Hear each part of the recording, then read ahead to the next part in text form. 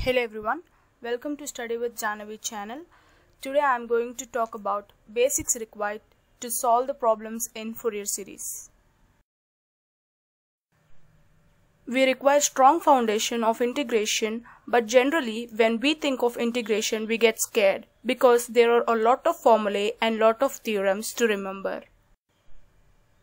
However, I have listed down few formulae and few theorems essential for solving problems in Fourier series. So if you master these few selected formulae, you will be absolutely good in Fourier series. Let's see the formulas. First one, integral x power n dx is equals to x power n plus 1 by n plus 1 plus constant. This formula not to be used for an equal to minus 1 and the next integral sine ax dx is equals to minus cos ax divided by a plus constant. But remember this a is the coefficient of x. Next integral is sine x dx is equals to minus cos x plus c. Here from the above formula you can observe that a is equals to 1 here. If you place 1 in a in the position of a you can just get this formula okay?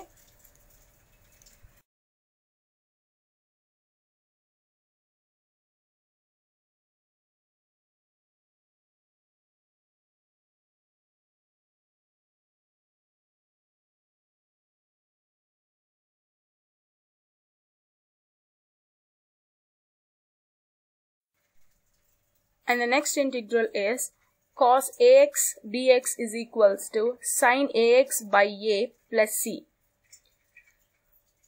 Once again, this is nothing but coefficient of x. Now, look at the next formula. Integral cos x dx is equals to sine x plus c. c means constant. Here, in the place of a, we just placed a is equals to 1 okay? The value of a is 1 now let's see some biggest integral formulas. Integral e power ax sine bx is equals to e power ax by a square plus b square into a sine bx minus b cos bx. Next integral e power ax cos bx dx is equals to e power ax by a square plus b square into a cos bx plus b sin bx. You can see that the coefficients are same. That e power ax by a square plus b square is same for these two formulas. Okay.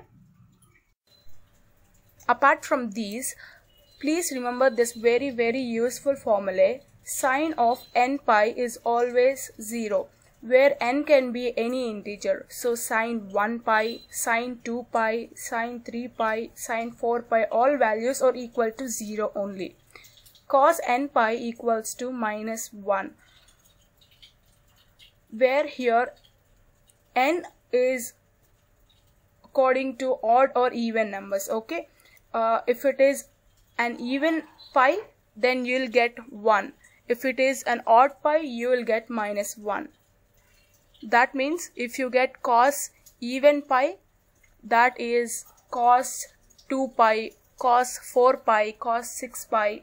Like this you'll get the answer 1 if you have odd values in the place of n that is cos 1 pi cos 3 pi cos 5 pi you will get minus 1 value okay and now we are going to see some defactorization formulae. To remember, you studied in 11th standard somewhere in trigonometry. So the first formula is sine A cos B is equals to half into sine of A plus B plus sine of A minus B. Similarly, cos A sine B, the difference is just a minus, okay? Cos A sin B is equals to half into sine of A plus B minus sine A minus B. The difference from these two formulas is just minus. Okay. Just observe it clearly. Next formula cos A cos B is equals to half into cos of A plus B plus cos of A minus B. Next formula. Sin A sin B is equals to half of cos A minus B minus cos of A plus B. A theorem from integrals. Integral minus a to a f of x dx.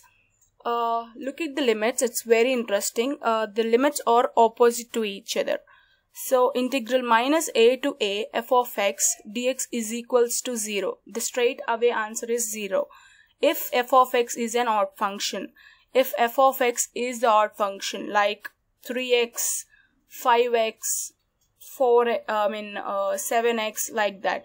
If f of x is an odd function the then the answer will be straight away 0 if f of x is an even function, the answer will be 2 times integral 0 to a f of x dx. Okay. And now we are going to talk about odd functions and even functions. Let's now try to understand what an odd function and even function using one example. Consider a function sin x and consider a function cos x and I want to know whether the function is odd function or even function. What is the method?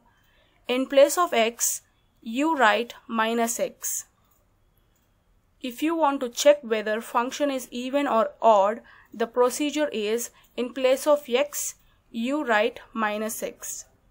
And then see what happens. Sine of minus x gives this sign out and cos of minus x observes that minus. So here f of minus x is minus of sin x. That means f of minus x is negative of the original function. And in the even side, f of minus x is cos x. That means f of minus x is same as the original function. So here f of minus x is same as f of x and f of minus x is same as negative of f of x. So when you replace x by minus x and you get negative of the original function, it is odd function. And then you replace x by minus x and you get exactly the same function, it is an even function. And the next one is when we have one odd function multiplied with another odd function, remember the answer will be even function. When you have one odd function and one even function or one even function or one odd function, the answer will always be odd function. And if you have even function multiplied into even function, then you will get an even function. For example, x raised to 3 is an odd function. And sine of x is also an odd function. So if these two are multiplied each other then this is also going to be an odd function only. Okay? Hope the things are clear. So if you remember these basics of integration and some few basics of trigonometry which I already told you the Fourier series is going to be absolutely strong. And the next lecture will be on Fourier series. Stay tuned. Goodbye. Good luck. And if you like this video please like share and subscribe to my channel